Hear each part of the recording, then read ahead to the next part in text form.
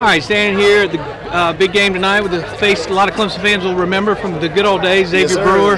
First off, Xavier, uh, heck of a game tonight. Yeah.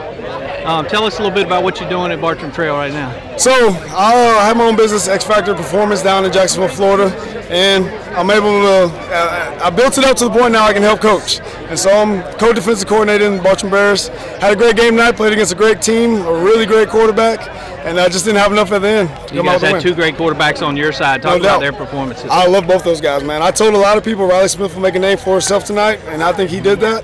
Um, unfortunately, we weren't able to finish. Both, like I said, play, practicing against both of those guys help prepare us for a guy like this. Obviously, he's he's a once once in a lifetime type of talent. But we've we've gone against really good guys, and it all comes down to like when I was playing ball. In the first half, we didn't play with our eyes, you know, and then we got exposed. The guys just running free.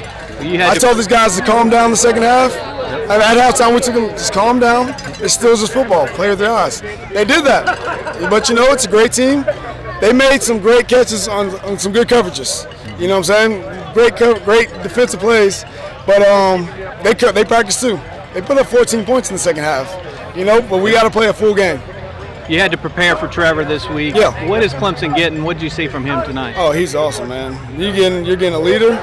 You're getting a guy, and then turn lights off on us, so we got a little bit of light. You're getting a leader. You're getting a guy that can make every single throw. You're getting a guy that makes the players around him better.